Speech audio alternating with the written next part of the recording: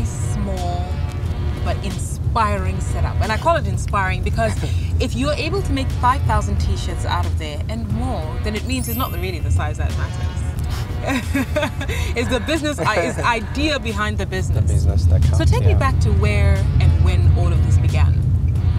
Yeah, um, for for I actually started as an actor, not Hmm. as um, a branding person. You know, I started with um, um, participating, going for auditions here and there. You know, and um, I was on Super Story. I was on Everyday People. Wow. You know, I was on Schemes, produced by Wale Adenuga and Tunji Bamishigbin. You know, that was 98, 99. Wow, you go way Yeah, back. you know, uh, you know, so I did that for a while, and then I later decided to learn how to go into production. So, how does an actor stop acting and want to go into production? Uh, well, for me, maybe I just had the passion was really burning. It was a lot. You know, I was acting, I was enjoying it, and then I just wanted to know how they were doing it because once you get back home, you sit behind the TV screen, you see, you know, all that works. You know, it was it was really interesting. So I wanted to know more. I was curious. I went to Obafemi Awolowo University, you know, and at that time I can remember we, we, we kept going on strike every now and then. So when we were on break, we had one 12 month break. During that period, I was just, I was acting, I was working on sets, I was just making, I was just working, you know, and then when we got back to school, Coca-Cola was banned in school at that time. For me, I saw an opportunity. I started producing. Uh, there's this drink called Zobo. So, what normally happens here? we just hang out. Yeah. You know, meet with friends. Okay. Clients. You know, but you know what? Let me just leave you here. Okay. You know, um, you can go in and speak to one of my clients. Okay, she's Uh, inside. One All right. day, One day. for me. She's in there. You paid her enough money to say good things about you? You better have. All right. See ya. One day? Hi. Hi, how are you? I'm fine, thank you. My name is How are you? Anita. One day is mine. Nice to meet you. Same here. He's really motivated. Um, at the time when I met him, he was still in school in the uni, and um, he was writing a play. At the same time, he was acting in one of the soap operas, and he, he stood out as an actor then. And soon after school, he um, he had come. You know, he said to me, "I never want to work for anybody." Really? yes. And I felt it was worth encouraging him. You know, he was already doing some things for himself then.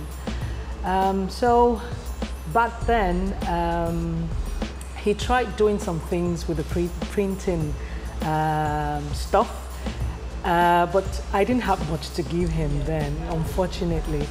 But he's so resilient. I think um, Femi or Maxima, like we call him, is um, a really focused individual. He's indeed an entrepreneur. But I mean, working for yourself, you don't know where the next play is going to come from. You don't know if you're, if you're going to be rejected by the next client. It takes guts, you know, to do that. And that's what Femi has done.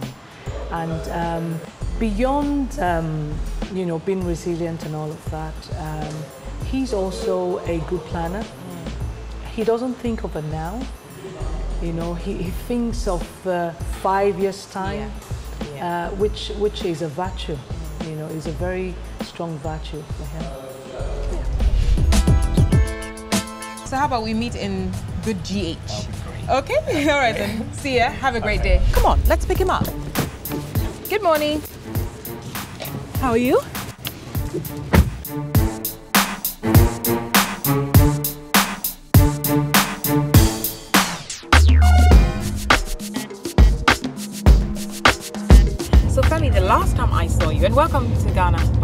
Welcome you. back to your second home. Thank you.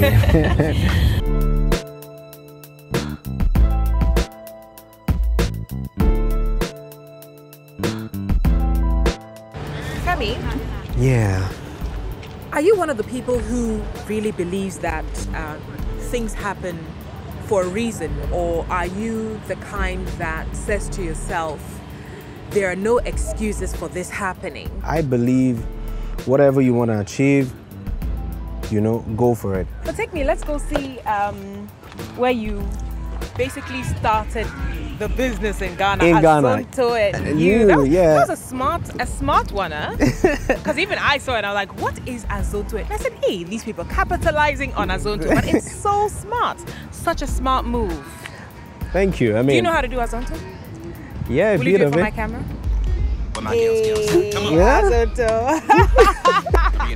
Kalu, kalu, kalu, kalu, kalu, kalu, kalu, kalu, kalu, kalu, kalu, kalu, kalu, kalu, Oh man, I kalu. what did you get out of this experience? Azonto and you, what did, what did it do for for the business?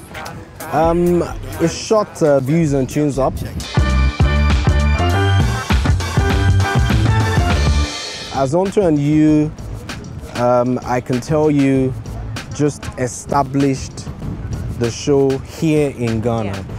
Connected people to the show, you know, because what we did was to take the experience on TV beyond that box. But I love that you know you are walking the talk, you mm. know, and you know that the world is your oyster. So on that note, I know this is very dramatic, but on that note, let's take a walk. All right.